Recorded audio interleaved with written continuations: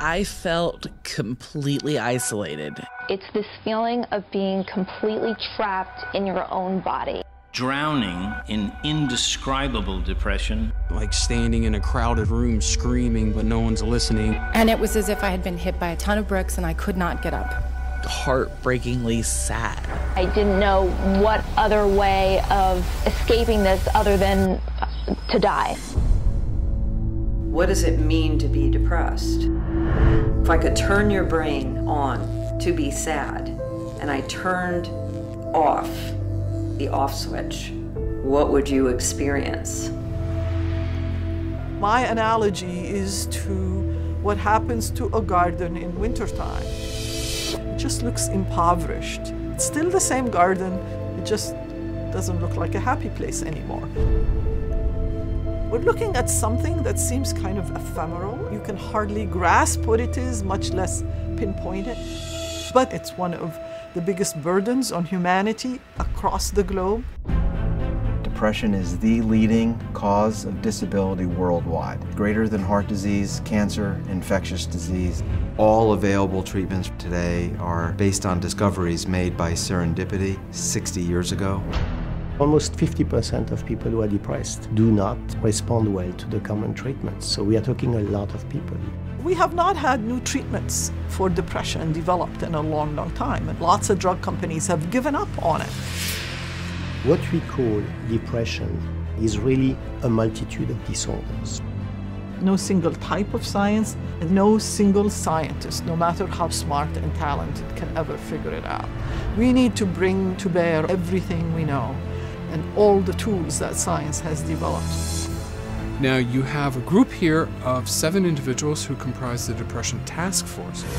Top researchers studying multiple models, multiple perspectives, in ways that can interact, feed off each other. Many of us have known each other for years, and we work together very well. The hope is that a group of great scientists are bigger than the sum of their parts. I am confident that we will be able to find the root causes of depression. We are a bit like the Manhattan Project aimed at curing depression. The nature of collaboration in this venture is extremely unusual. It's a number of very powerful labs putting their resources together, communicating actively, collaborating. Each of us comes to the challenge with a different toolkit of experimental approaches, and the tools that are available today are incredibly advanced.